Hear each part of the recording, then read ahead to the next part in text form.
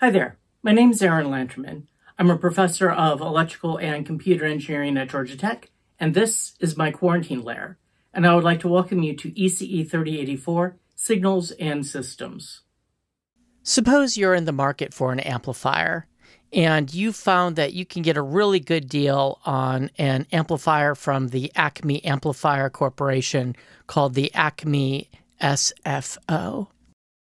Now, the people who make the Acme SFO say that they'll give you an amplifier with an amazing gain, a gain of K equals 200,000. So that's a whole ton of gain. That's awesome. But there's a catch. The amplifier has limited bandwidth. So this gain is only the gain at DC. You could actually model the amplifier as a one pole low pass filter with a cutoff of omega C, where FC, the cutoff frequency in hertz, is just 6 hertz. So, although that 200,000 figure looks impressive at first, this 6 hertz is an incredibly low cutoff frequency. So, the trick we're going to use is to use some negative feedback.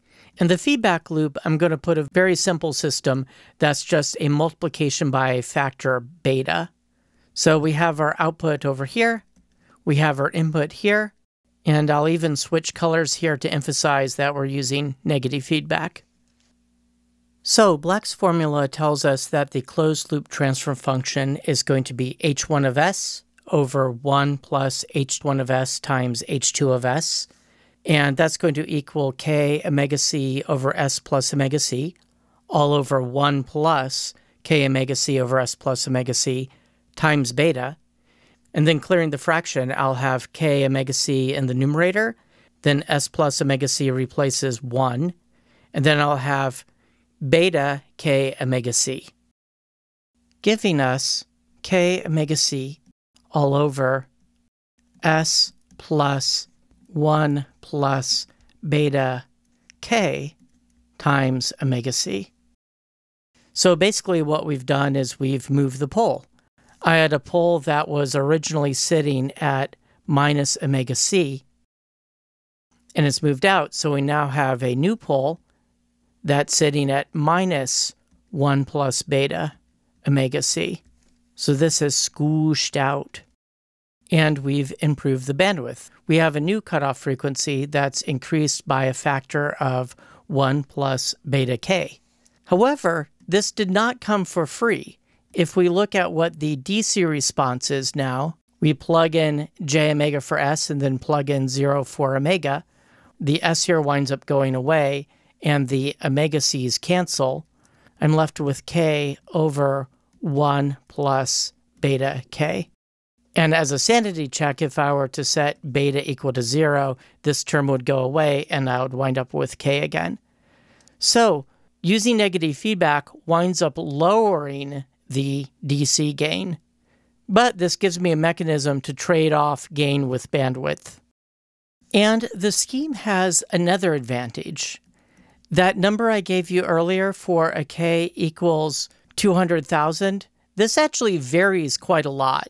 It varies from unit to unit that we might buy from the manufacturer, and more importantly, it will vary drastically with operating conditions, particularly temperature. So, if you take a look at the expression here, notice that we could approximate this as 1 over beta for the special case of large k. If you take the limit of this as k goes to infinity, then at some point the 1 here gets swamped by the beta k term. So that 1 essentially drops out and then the k's cancel.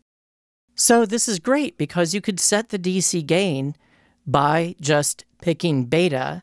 And if you can set that beta using components that don't vary drastically with temperature, then you're effectively compensating for the fact that the K and the amplifier itself does vary with temperature. Now let's leave the realm of abstract block diagrams and go into the specific world of circuits. The Acme SFO is something you can actually buy from a whole bunch of real life manufacturers. It's called the 741 op amp. So let's now imagine that x and y, instead of being abstract signals, are in fact voltages, and my voltage representing x is going into the positive terminal of an op amp. So the voltage representing x of t is going into the positive terminal, and now I need to figure out how to implement this beta factor here. Well, let's first of all assume that beta is going to be less than 1. And I guess while we're at it, we should also say it's bigger than 0, so it is in fact negative feedback. I'm wanting to restrict beta to be less than 1 because if it's bigger than 1, that means that H2 itself is an amplifier made with transistors or vacuum tubes or whatever, and it's going to be subject to all the same problems of varying K that we're dealing with up here. So let's build beta using resistors, purely passive elements. So let's put in a voltage divider. I'll have a resistor here I'll call RF, and then I'll put another resistor here, RG, that's going to ground.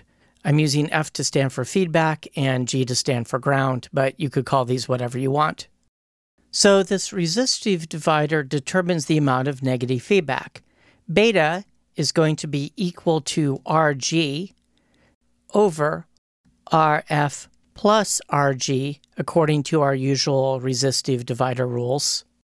And notice something interesting here. If I take this beta and I substitute it into my formula for the closed loop transfer function at DC, in this case for large K, I wind up with 1 over beta, which is just RF plus RG over RG. And while I could rewrite that as 1 plus RF over RG. And this formula should look familiar. If you don't see it quite yet, let me just redraw this circuit slightly. I'll flip the positive and negative terminals.